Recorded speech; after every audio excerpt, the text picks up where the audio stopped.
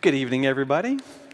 What, what a treat it is to be here. A year ago, I found out I was coming here, and I was very excited, not just because of Monday, but also because I get to spend a weekend with you. In fact, I love doing long things because I get to give a lot of different presentations on a lot of different topics. You'll find out very quickly that I am a nerd, and I love the Bible, and I love Jesus, and I love challenging people. Um, my goal today is to give you the strangest lecture you've ever heard. If at the end you feel comfortable, then I failed. What I'm going to do is I'm going to try to challenge your understanding of reality and how much you trust this physical world. Why would I do that? Because it amplifies God. The more we understand about how tenuous our existence is, the more God will be magnified. Now, why the Achilles? Who is Achilles in Greek legend? He's a fantastic warrior. His mother made him pervious by dipping him in the river of death, and the river Styx, but she held him by the ankle when she dipped him, so he had a fatal flaw. He died when he got shot by an arrow in the heel, and he bled to death. Kind of an ignominious way for a famous warrior to die. I'm using that as a symbol to represent evolution deep time, millions of years. They seem so strong. They seem, it seems like you can't fight this edifice of, of you know, anti-biblical science, but there are tremendous weaknesses in that science, and if we look at it carefully, we can see them. So strangely, when a person approaches science, we should be humbled. It should scare us. There's a lot we do not know, and there's a lot we cannot know. And yet, what do we see when we watch TV or read a, a, magazine or you see a bunch of very arrogant people claiming God doesn't exist? Why? Because science. And I say, nonsense, that's not true. But we will get through that, hopefully, as I go through this. I'm going to try to impress upon you three big ideas. One, Science depends upon philosophy. The scientists do not want you to know that. But it is absolutely dependent upon philosophy. In fact, a lot of the philosophy goes back to Thomas Aquinas, the medieval scholar who finally got rid of Plato and his influence in theology and all of a sudden, Aristotle starts coming in. Oh, these are Greek philosophers. Yes, Greek philosophy has a huge impact upon not only our Christian philosophy, but on science itself. Number two, there are more things we don't know than we do know. Probably half of what we think is true isn't, but we don't yet know what isn't. So as we go through, we reject ideas, and you people who have more gray hair or maybe a little less hair than me, um, you grew up being taught things that nobody believes today. A lot of things. Now, you younger people, you're never going to hear those things. You'd have to dig and you have to look and you have to, to fight really hard to figure out what they were. I'm, I'm a huge history buff. I love World War II history. I'm reading it all the time. I was reading um, lately a, um, a diary of a German soldier who was fighting the Russians on the Eastern Front.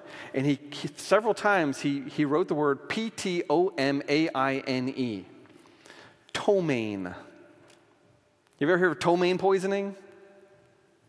The older people have. Ptomaine doesn't exist. It was an imaginary substance that people believed up through the 1950s and 60s that was toxic. No, there's no thing as ptomaine. It's the bacteria that kill you, not a poison that meat just exudes as it's decaying. But it's an old idea that's been flushed. We got rid of it. It wasn't true. There's a lot more, and you're going to hear some of that tonight. I'm going to conclude, after all we do, that it is reasonable to trust the Bible. My goal is to help you solidify your faith in Scripture and your faith in Christ but I'm going to rip the rug out from underneath you as far as what you think reality is composed of. You okay with that? Okay. I want to think you to think of something. Think of anything, something you think is true. Your birthday, your mother's birthday, what you had for breakfast.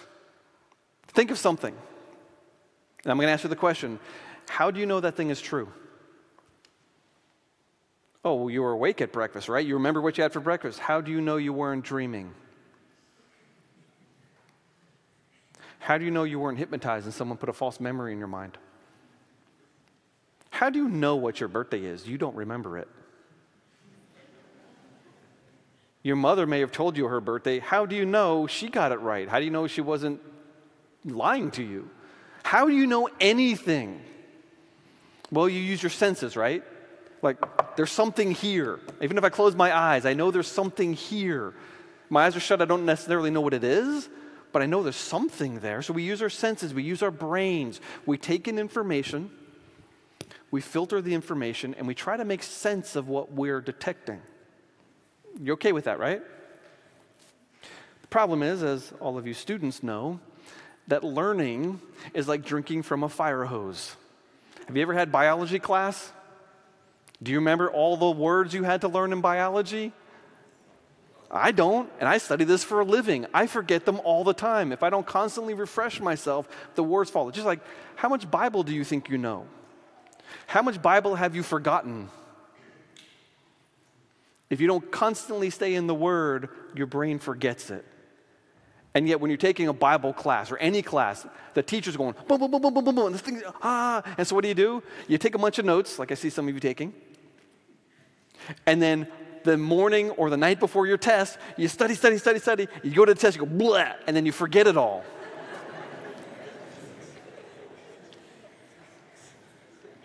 You think you know stuff, and yet you forget everything. I'm not saying you, me too. That's how the human brain works. Here's the problem though some of the stuff that you're learning isn't true. It might be the teacher doesn't know it, it might be the humanity doesn't know it, or it might be the person's lying. And if you go online, you'll be fed a steady dose of misinformation. Hence, people believe the earth is flat. If you do believe that, well, we're going to have a conversation later. Hence, people believe Bigfoot exists. No, Bigfoot does not exist. I'm not going to defend that. I'm just going to make a statement. Look, I might have said something that's wrong. What if someone finds a Bigfoot someday? Am I wrong? You don't know, do you? Now, I said it that way on purpose because there's a lot of people who speak very confidently and they're speaking nonsense. Sometimes they do know it and sometimes they don't know it, but it's nonsense nonetheless. And it's everywhere in our society, and the society is only getting worse. I had a conversation with the nice lady at the checkout counter at Delta at the airport. She looked at where I'm going. She goes, Oh, you're going to see the eclipse? I said, Yeah. She goes, Well, what do you think about that? And I said, Oh, she's thinking conspiracy theory. I said, Well, I, I think that the moon is going to get between us and the sun and cast a big shadow on the ground. and, and then we, the, we, the, we talked for like 10 minutes. It was a strange, and people are piling up behind me, but she kept on asking me questions. She goes, I, I heard in Jamaica there's no moon.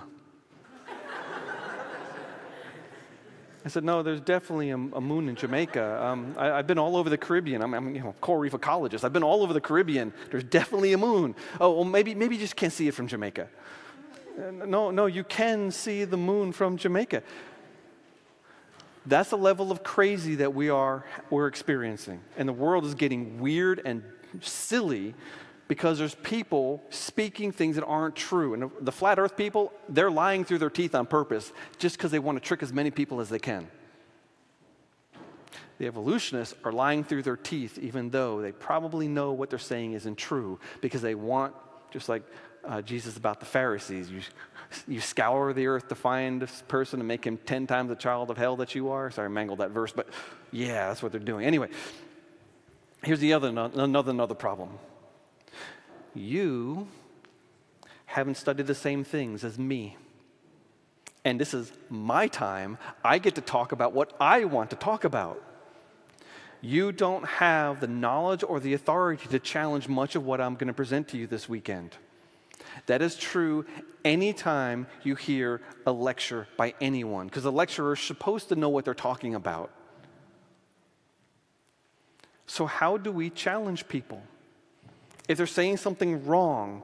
I mean, could you walk up to like the world's greatest scientist and say, Mr. Scientist, you're wrong about evolution, here's why?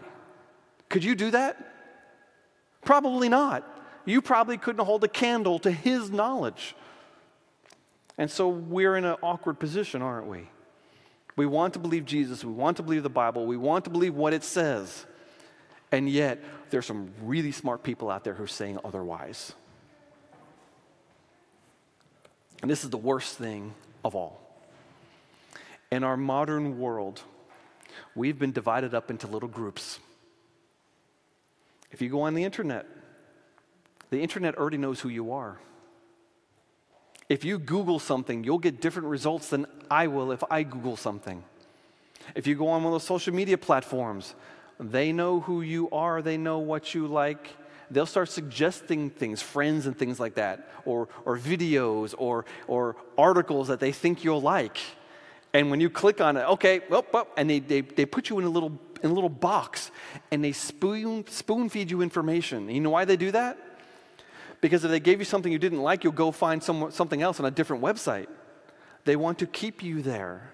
So they make you happy by reinforcing the things you already know. That means that people aren't being challenged anymore with contrary information. That means they can walk around perfectly happy because they get all this confirmation of what they already believe. And hence, what happens in politics? Things divide. What happens in religion? Things divide. What's happening in our culture? We're more divided now than ever before.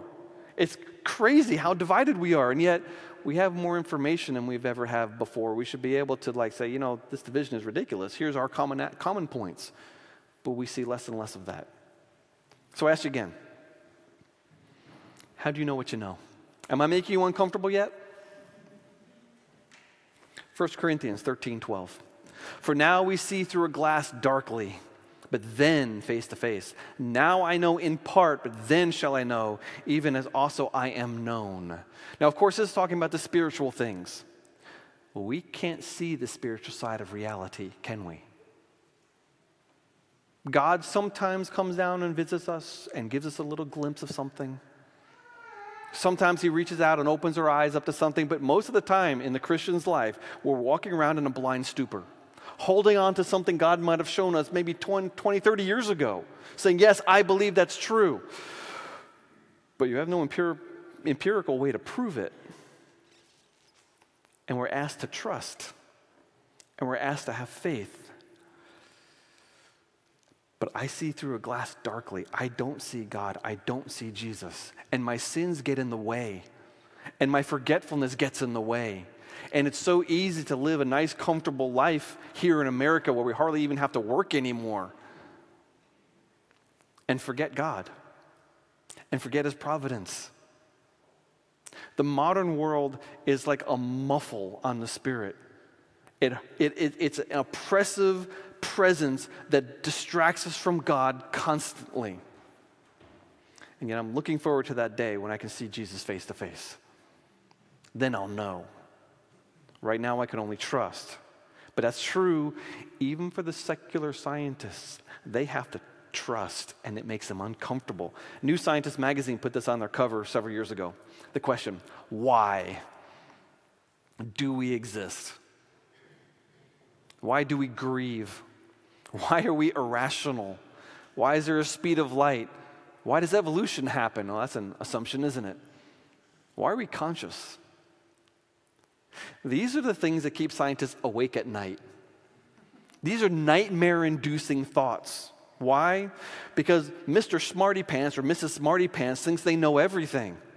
And all of a sudden they're faced with the unanswerable questions What if there really is a God? They don't go there, they can't think that. Because to say there might be a God means that their precious little science might not be what they think it is.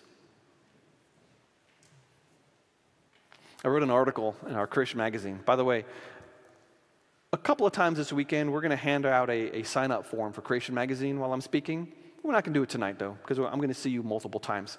Um, but they're out there on the tables. If you like, you can sign up tonight if you like.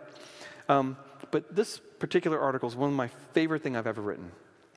I titled it, We Are Less Than Dust. I said, let's look inside the human mind and the human body. What are we made of? What, what's our basic component that we're made of. What's it called? Atoms? Okay, atoms. All right, all right. How big is an atom? It's really tiny, right? How far apart are the atoms from one another? And what's in between? Oh. What I did was I said, let's take let's take an atom and make it as large as the sun. The nucleus of an atom, as large as the sun. Now we can compare an atom to a solar system. How far away are the electrons?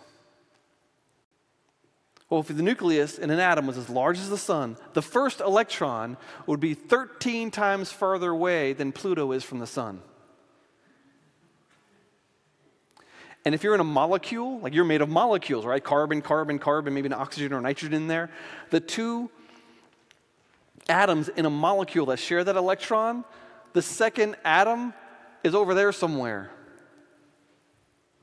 And electrons have no size. So these tiny little atoms, 26 times further away from each other than Pluto is from the sun, and in between is nothing.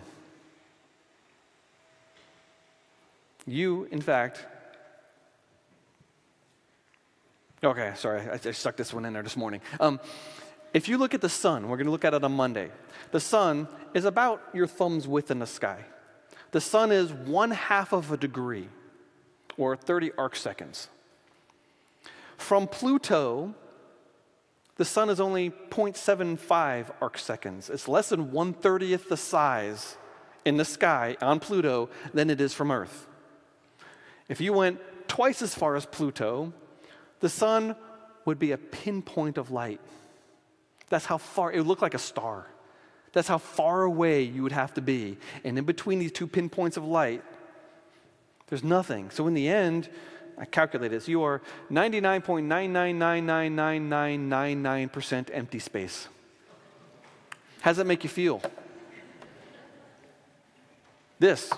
There's nothing here. This is emptiness. And yet it feels so solid, doesn't it? Why, why do I feel it? Why do you see me if I'm empty? Why can I see you? Well, our little teeny atoms that are so far apart with nothing in between, they have these electrons, this electronic force field. And the photons from these lights, by the way, we don't even know what a photon is. We don't know how lights work. We don't know how electricity works. We don't know how gravity works. We use it all the time. We don't know what they are. These photons, these, getting excited here. these mysterious particles or waves or whatever they are coming out of these lights, they come at the speed of light from that thing, they hit my electronic force field and they bounce off this electronic force field, and that's why you can see me. I am a hologram. And so are you. If you stripped away your electrons and you look at all the little nuclei and you pack them together, you wouldn't be able to see yourself. You could take all of the atoms in the entire universe, take away the electrons, just pack all the neutrons together. You have to overcome the, the, the repulsive force, but if you could do that and hold all those nuclei together, the entire universe would fit inside our solar system. All the billions upon billions of galaxies are also empty. Genesis 3 19, for you are dust, and to dust you shall return. That's fun, isn't it? Let me ask you a question. What is evolution? If you had to define evolution, what would you say?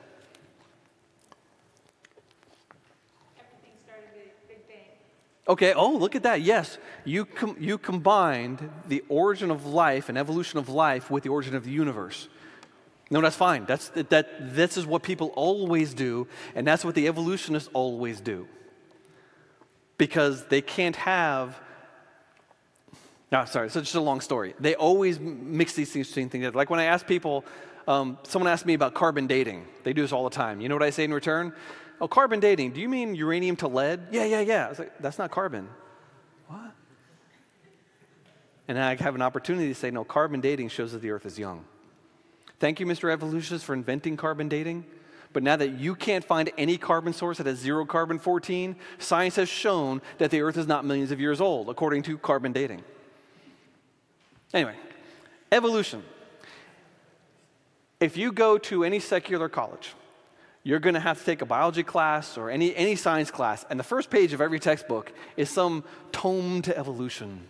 Blah, blah, blah, blah, blah, evolution happened. It's always the first page, and the rest of the book usually ignores it. But the first page is always about evolution, and they tend to define it as just change over time. And things, since we know things change over time, evolution must be true, right?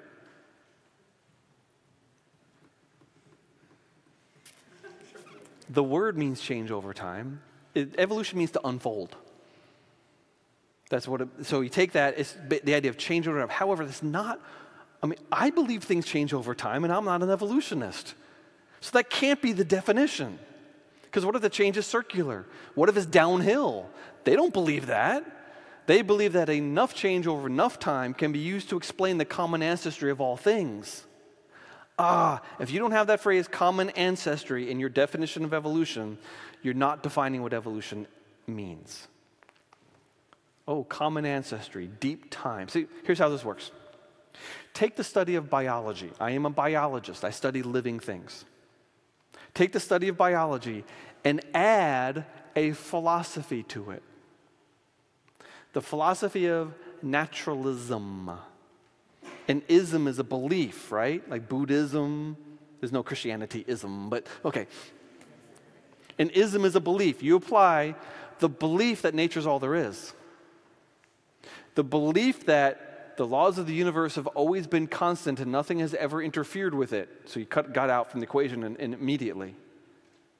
The idea that the present is the key to the past, that things always are, always have the way they are now, that nothing has ever changed. The belief that natural processes can explain everything that's ever happened in the whole history of the universe. That's a big assumption, isn't it? It's called naturalism. If you add naturalism to biology, you will get evolution. But I'm not a naturalist, I'm a theist. Theism is a belief in God. If you add the philosophy of theism to biology, you'll get some form of creation. You might get evolutionary creation, you might get punctuated creation, you might get you get all sorts of various phrases. Now, if you want to put me in a box and say, "What are you, Carter?" I'm going to say, "I'm going to." You might call me a young Earth creationist, or even a young age creationist, because it's also the universe is young, not just the Earth. You might call me a biblical creationist, but then what exactly is? Because even the old age creationists claim to be biblical. So, but if you want to put me in a box, I'm going to say the earth is not millions of years old. Now, how old is it? Great question. It's a little more than 6,000 years old according to Scripture, the way I understand it. I, didn't, I can't put a specific date on it because the purpose of the Bible is not to give us a history of everything that's ever happened in the history of the universe. The purpose of the Bible is to point us to Jesus Christ. The biblical story is a story of God seeking out a bride for his son. It's not a history book necessarily, though it does talk about a lot of history that has to be true. It's definitely not a science book. I mean, how much taxonomy can you learn from the Bible? Oh, God creating flying things and swimming things. That doesn't tell us a lot about taxonomy, does it? Because it's not the purpose of Scripture. And yet, I was trained in a very specific philosophy. All my secular training at, at Georgia Tech and the University of Miami, there was a philosophy behind it. Anyone want to take a guess what that philosophy was? It's right there. It's philosophy of naturalism. And because everything is couched in naturalistic terms, students are never challenged on any of the things I've been talking to you about. And since they're never challenged on it, these topics don't even come up. And the people who might be thinking such thoughts usually don't go into science, or they're cut out from the pack and, and gotten rid of, or they just train themselves to never say anything. And what happens? Faith withers and dies. Ah, but Consider this, not this television. See that molecule right there? That's one of the letters in your DNA. There's a piece of DNA. You have six feet of DNA inside every one of your little microscopic cells. Well, let's turn this DNA into a protein, shall we? We need a machine right there. That is called a polymerase.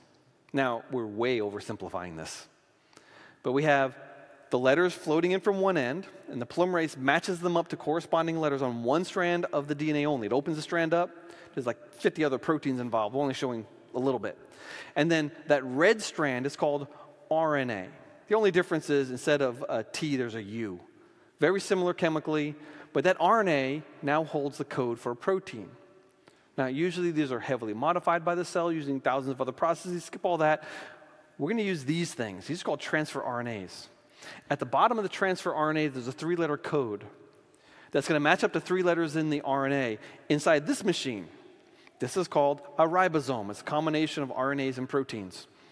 That ribosome will literally, three letters at a time, match these things up, but on the top of the transfer RNA, there's an amino acid. The amino acids are the building blocks of proteins. And so here we're manufacturing a protein. But most proteins, that left to themselves, will make a, a, a, bird's nest. They need help folding. So these other proteins called chaperones come along. They grab onto the protein to prevent it from folding.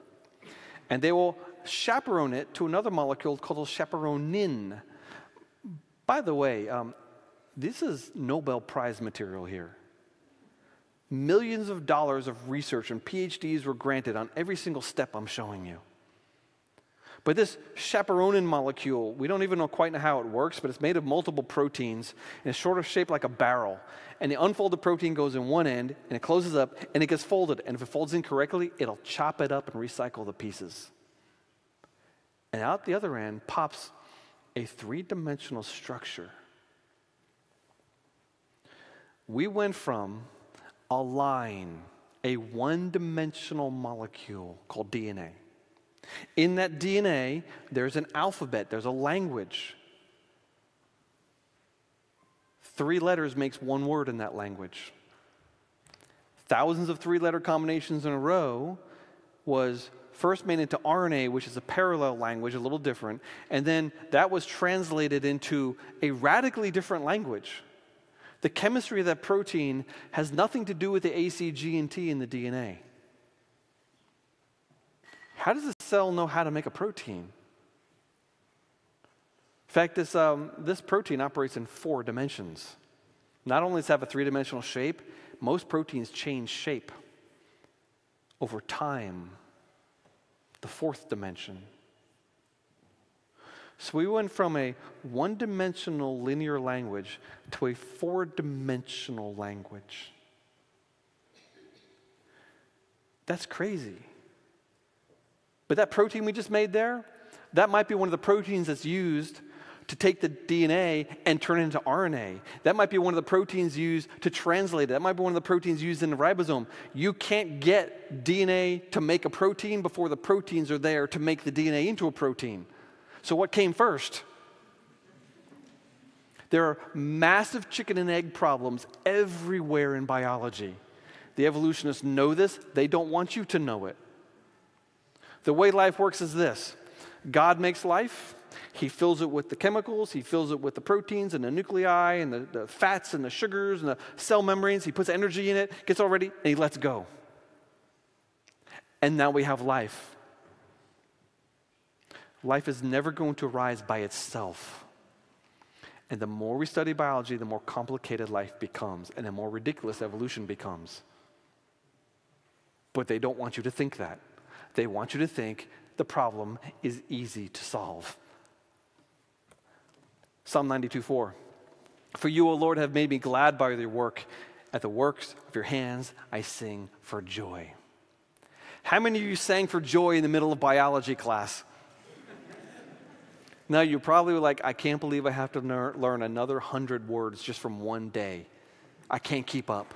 Is that what you thought? Yeah, well, Leave it to God to have a name for everything. Not that God named, we're naming the things that God made. How's that? Leave it to God to leave us having to invent thousands of names for things that He made. And it should bring us joy, even when we fail a test. What does that mean? That means the material is really hard, and God is amazing, and I'm stupid. And it's okay. It's okay to not know everything that God knows. It only amplifies God and humbles us. Hey, did you know that science was invented by Christianity? Did you know that?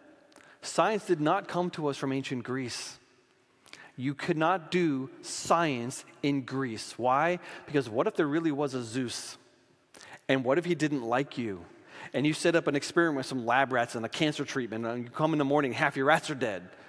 Well, was the chemical you gave him from the cancer treatment, or does Zeus not like you and he sent a lightning bolt down and killed half your lab rats? You cannot do science in that environment. You couldn't have done science in ancient Ireland or ancient Germany, because what if there really are pixies in the garden and they're mischievous? And they sneak through the window at night and rearrange your test tubes in your rack. If you can't trust the universe, you can't do science. If the universe experiments back on you, you can't do science. We need a trustable universe, a steady universe, a universe that operates according to law. Being that God is the creator God, and being that God never does anything against his own nature, that God of the Bible, when he created the universe by his own nature, he would have created a universe that operates according to law. That, my friends, is where the idea came from that led to all of our modern technology. It came from Christian philosophy. It's just a straightforward reading of the Bible tells us the universe is trustable because my God is trustable. The, un- the force of gravity, the speed of light, the magnetic attraction between things, that's not going to change because it's not in God's nature for such things to change. In the evolutionary world, there's no reason for the speed of light to always be the same. It just is. So therefore, we have no reason to doubt it. Yeah, but you have no reason to believe it either. We have a better starting point.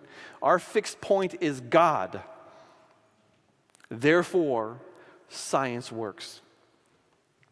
I bet you've never heard that before. The historians and the scientists don't want you to know this. But what happened? Eh, 100, 200 years after modern science's birth, we have something called the Enlightenment. And this is when the philosophers got involved and they got rid of God and kept the laws. And we've been fighting this battle now for three or four hundred years. The battle is not over the boiling point of water. The battle is over views of philosophy. Okay? So I'm going to give you a truth. Ready? The universe was created. Another truth the universe is naturalistic. Now, I hate that word nature. I shouldn't use the word hate. I, I dislike that word nature because that's a Roman goddess. But we don't have another way of English to say things happen according to the laws of probability and statistics all by themselves without any outside interference. Instead, we just say it's natural. Okay, as long as we understand what that means, I'm not actually invoking the name of, of an imaginary goddess the universe behaves naturalistically. Naturalism is a wonderful science for the laboratory. When I run an experiment, I expect it to happen according to the laws of probability and statistics. And I do not have my finger on the scale. I'm going to let it happen by itself. And I should be able to repeat again and again and again and again. That's naturalism. But naturalism is terrible at explaining origins. So they had a good run of it. For a couple of hundred years, they said, wow, naturalism works. And they kept going and going and going and going. And what happened? The second half of last century happened. Our understanding of the complexity of life went, and naturalism's power to explain it went, and they don't want you to know that. Hebrews 11:3 By faith we understand that the universe was created by the word of God so that what is seen was not made out of things that are visible. Wow, that almost sounds like he's advocating contrary to naturalism. Naturalism says that the physical forces and the, the objects we see can explain where everything came from. No, we understand the universe is created by the Word of God or else we have to hold ridiculous propositions like life formed by itself. Yeah, life doesn't exist without the information coded into DNA that became transcribed into RNA and then translated into proteins that had to form spontaneously all by itself? No. Everybody do this.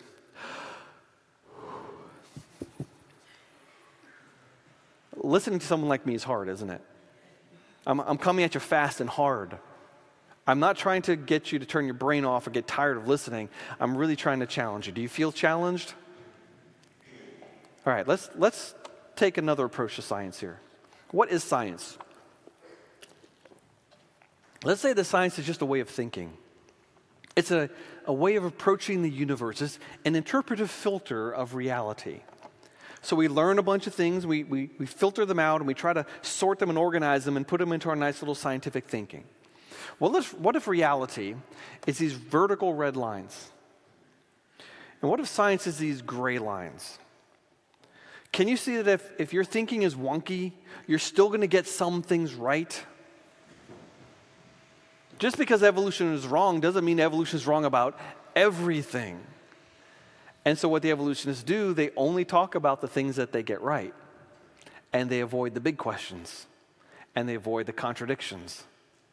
And by saying, hey, this is a fact, this is a fact, this is a fact, this is a fact, and this is a fact, all those things are true, and all those things match evolution. That is a powerful way to convince someone that evolution is true. When you never present them anything that actually challenges the theory. Now, I'm not claiming that my way of thinking is perfectly aligned to reality. That would be hubris.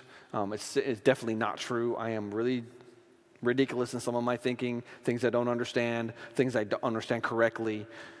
We're all in that position. However, can you see that the closer your thinking gets to reality, the more you'll understand about that reality? And I'm going to tell you that if we align ourselves to the God of the Bible, we'll have a better grasp on reality than if we don't. Okay? So, what's natural selection? You've heard that before. What is it?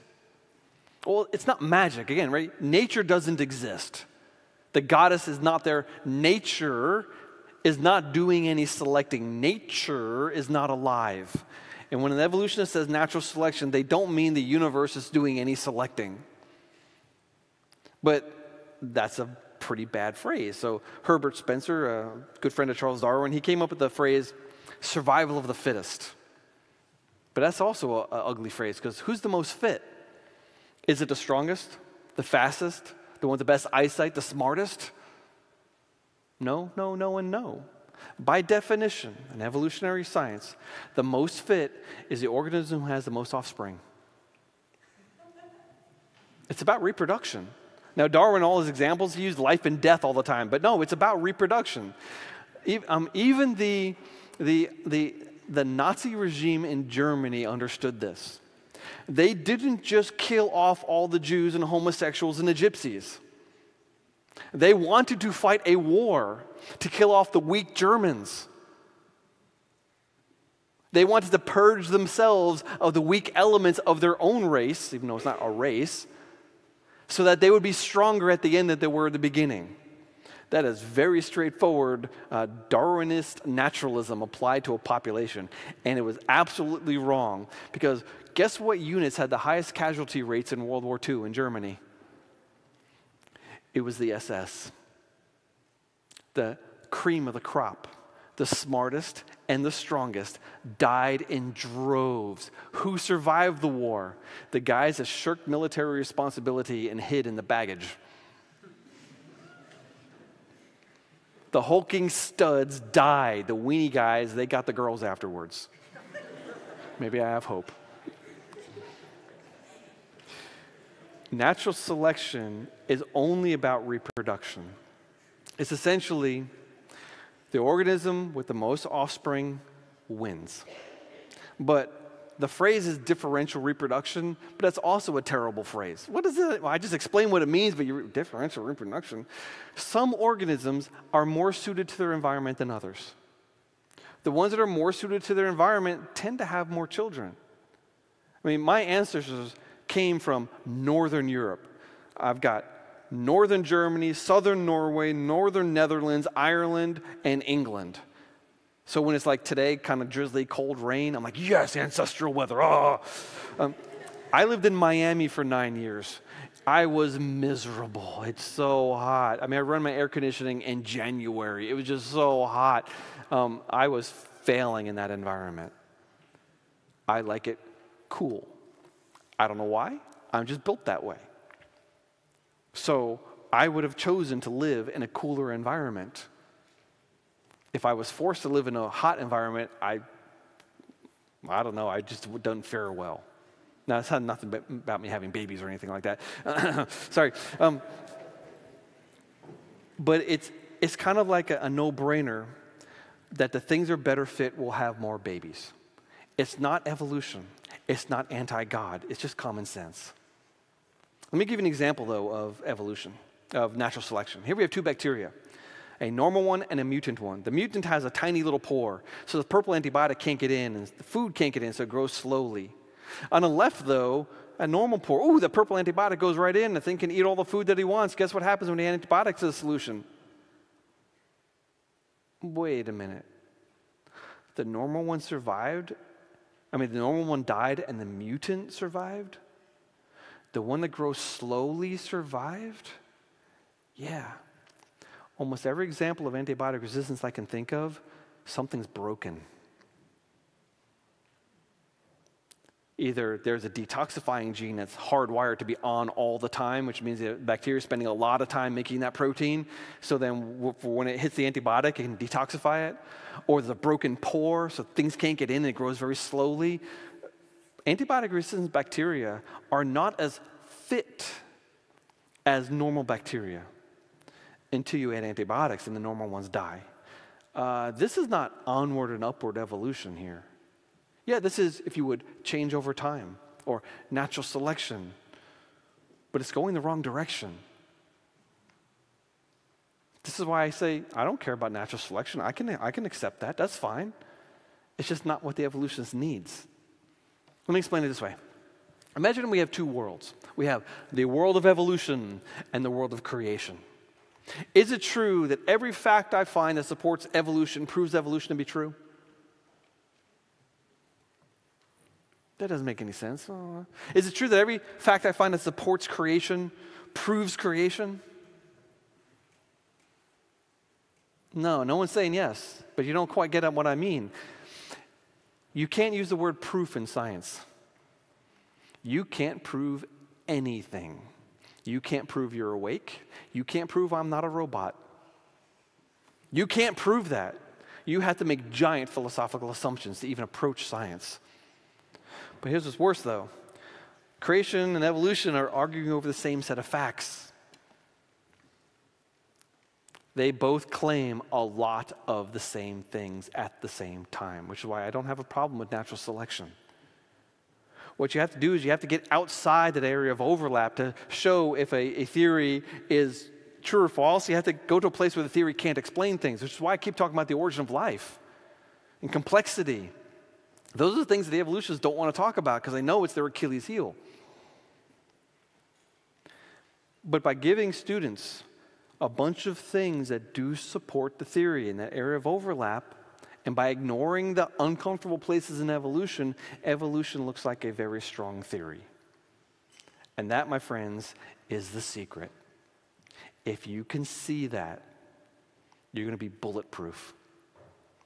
But you have to train yourself to see it.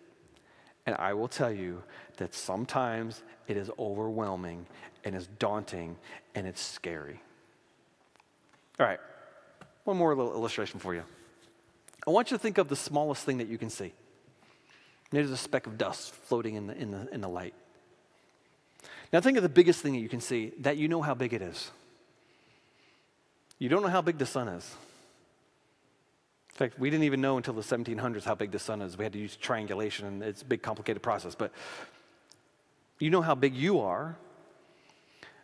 I bet you know how big your house is depending on how long you've lived there. You've, you've, probably been to every little nook and cranny. You've been all around the outside. Maybe you've been up on the roof, down in the basement. You've got a pretty good sense of how big your house is. I bet you could probably walk around your house, put some shin guards on, with a blindfold, and get around your house.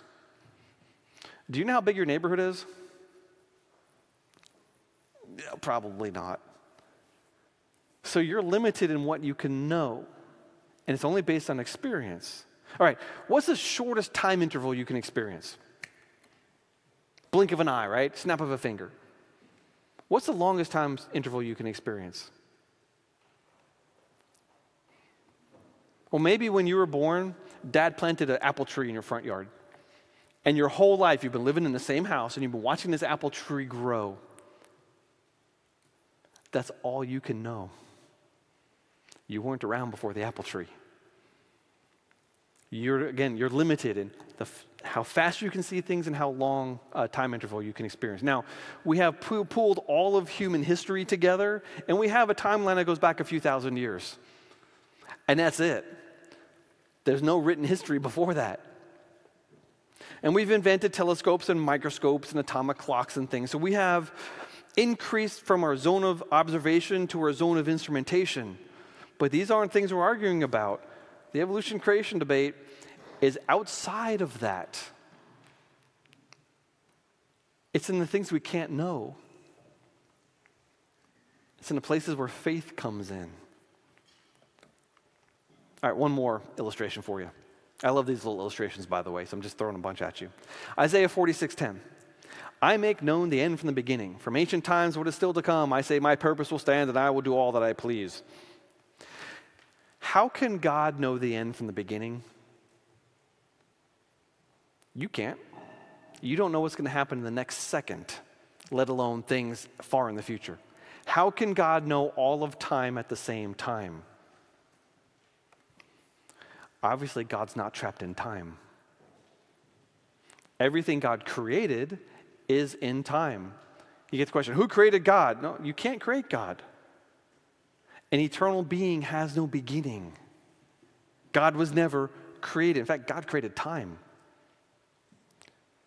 When um, Jesus went across the, the Sea of Galilee and he ran into that man on the other side who was cutting himself and no, no one could bind him, he runs up, falls at Jesus' feet, what have you to do with us?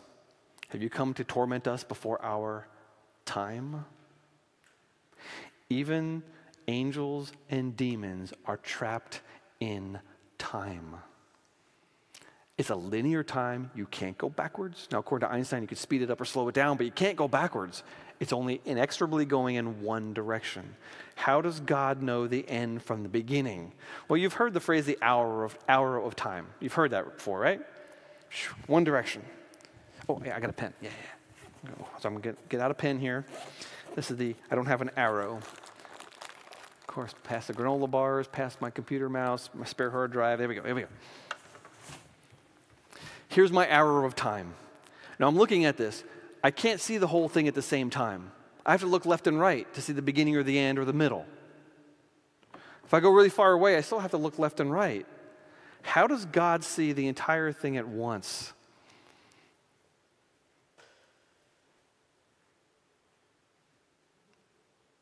God's a higher dimensional being. He's not trapped in our 3D, 4D universe. And by taking this fourth dimension time and turning it like that, all things collapse into a point. Time is simultaneous for God. This means that when God set up the universe, he knew what was going to happen. Sending Jesus Christ down to this earth was not plan B. He knew when he created the universe, when he said, Let there be light, that Jesus Christ is going to be hanging on the cross to pay for your and my sins. He knew that. Now, I can't explain why he dallies. I can't explain why he created the universe knowing that sin was coming. But what conclusion can we draw? Psalm 139, 14, I praise you, for I am fearfully and wonderfully made. Wonderful are your works. My soul knows it very well. Do you know it very well? I can guarantee you there's people, probably more than one in this room, that's severely wrestling with their faith right now. Do you really know it very well? I think I probably removed some objections in some people's minds. I hope so. That's been my prayer coming up to this. I hope I really did challenge many of you. But consider what evolution is doing. It's questioning something. Look at John chapter 1. In the beginning was the Word. Okay, what's a word? I don't know yet. And the Word was with God. Okay, there's a word that's with God. Oh, the Word was God. Okay, because the Word was God. We got God, he's calling himself the Word, and I'm getting kind of Trinitarian here. It's all confusing. And he was in the beginning with God. All things were made through whom? Through the Word. And without him, the Word, was not anything made that was made. Notice, of course, God has no, God's not made, right? So that excludes God there. And the Word became flesh. Jesus Christ is the creator of the universe. Jesus Christ is a part of the Trinity that said, Let there be light. The creator of the universe knew that he was going to be coming down here and hanging on a tree 2,000 years ago. That's amazing. I'm going to leave you with this Hebrews chapter 2, verses 1 through 3. Therefore, we must pay much closer attention to what we have heard, lest we drift away from it. For since the message declared by angels proved to be reliable, and every transgression or disobedience received a just retribution, that's heaven or hell, how shall we escape if we neglect such a great salvation? My friends, we have no excuse. Science points us straight to God, and there's no other rational answer. Oh, there's so much more. I mentioned Creation Magazine before. Uh, we have it on the tables. take a look at it. I, I think God kept me in Christianity because of Creation Magazine. It's not a joke. A lot of the, video, the videos that you saw, a lot of illustrations, they came out of a book and a movie called Evolution's Achilles Heels. Powerful material out there on the tables also. If you like reading books, if you like watching things, if you still have a DVD player, I don't know. But you can also, um, on our website, you can get that streaming version. In fact, streaming. The first streaming thing we ever put up on our website was the historical Adam, theological conundrums, and scientific implications. That is free still. You can go on our website and watch it. It's going to be very similar to um, when am I doing my historical Adam talk? This Saturday? I think it's tomorrow. Yeah, yeah, it's tomorrow. I don't remember which one tomorrow, but come to hear about Y chromosomes and DNA and Adam and the history of the world tomorrow. And I'll point you to our, our website. And now, it's 8.03. I kind of wanted to stop 15 minutes ago, but I was having too much fun. Um, are you okay with 15 more minutes of questions?